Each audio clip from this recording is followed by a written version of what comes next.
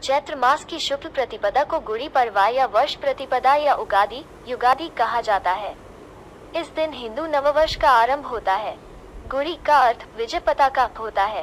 कहते हैं, शालिवाहन ने मिट्टी के सैनिकों की सेना से प्रभावी शत्रुओं, शक का पराभव किया। भारत एक ऐसा देश जहाँ हर संप्रदायों के लोग रहते हैं और सभी संप्रदायों के अपने त्योहार और उनका अपना विशेष धार्मिक महत्व है। 2 अप्रैल से जहाँ चैत्र नवरात्र आरंभ हो रहे हैं साथ ही इस दिन यानी चैत्र मास के शुक्ल पक्ष की प्रतिपदा को हिंदू नववर्ष की शुरुआत होती है, उसी दिन गुड़ी पड़वा का पर्व मनाया जाता है। गुड़ी पड़वा 2022 प्रतिपदा तिथि 2 अप्रैल को रात ग्यारह बजकर अट्ठावन मिनट तक प्रतिपदा तिथि रहेगी। महिलाएँ स्नान के बाद इस दौरान घर के मुख्य द्वार को आम के पत्तों और फूलों से सजाती हैं। घर के एक हिस्से में गुड़ी लगाई जाती है।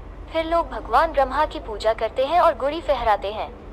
गुड़ी फहराने के बाद भगवान विष्णु की पूजा की जाती है। कई लोगों की मान्यता है कि इसी दिन भगवान श्री राम ने बाली के अत्याचारी शासन से दक्षिण की प्रजा को मुक्ति दिलाई।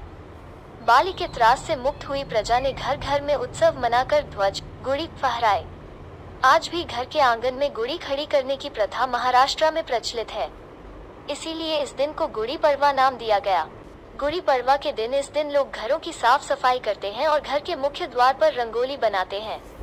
इस दिन मुख्य द्वार पर आम के पत्तों से बना हुआ बंधनवार भी लगाया जाता है। इस खास दिन में महिलाएँ अपने घर के बाहर गुड़ी लगाती हैं।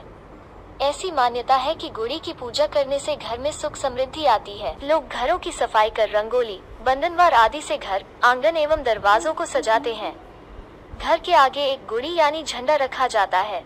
इसी में एक बर्तन पर स्वास्थ्य चिन्ह बनाकर उस पर रेशम का कपड़ा लपेटकर उसे रखा जाता है। गुड़ी को विजय का प्रतीक मानकर उसकी पूजा की जाती है।